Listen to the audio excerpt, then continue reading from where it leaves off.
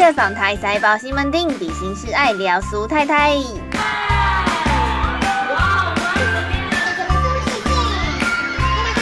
男神苏志燮有来了，这次宣传电影《与你再次相遇》，亲民互动一百分。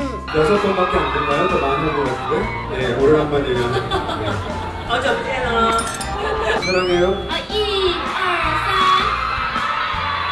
사랑해요 이제 수영신이 있는데 수영신이 좀, 좀 아깝게도 이렇게 노출이 별로 없으셨어요. 좀 너무 아깝다고 그렇게 생각했는데 왜? 그러니까 그 부분을 아마 원하시는 부분들이 많다고는 생각은 했지만 그게 그러니까 영화 자체의 초점이 아닌 다른 부분에 초점이 맞춰지는 게 저는 별로 영화에 도움이 안 된다고 생각을 했기 때문에 죄송스럽지만 그런 선택을 했습니다.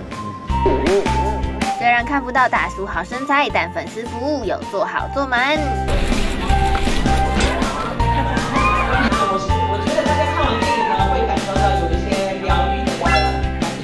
영화 재밌게 보세요. 감사합니다